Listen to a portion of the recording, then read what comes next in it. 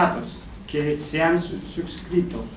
son ilegales porque primero Marruecos no tiene ningún derecho para firmar estos contratos, que incluyen las zonas ocupadas saharauis, y segundo porque violan la, el derecho de la soberanía permanente del pueblo saharaui sobre sus recursos naturales, el derecho del que ya ha hablado la profesora Martín. Obviamente, la primera consecuencia de la política marroquí de saqueo de los recursos naturales en las zonas ocupadas del Sáhara Occidental consiste en vincular económicamente la zona con la economía marroquí y reforzar la presencia marroquí mediante la construcción de infraestructuras, infraestructuras para generar efecto de llamada a la comunidad marroquí de colones en el territorio que no cesa de aumentar. Además,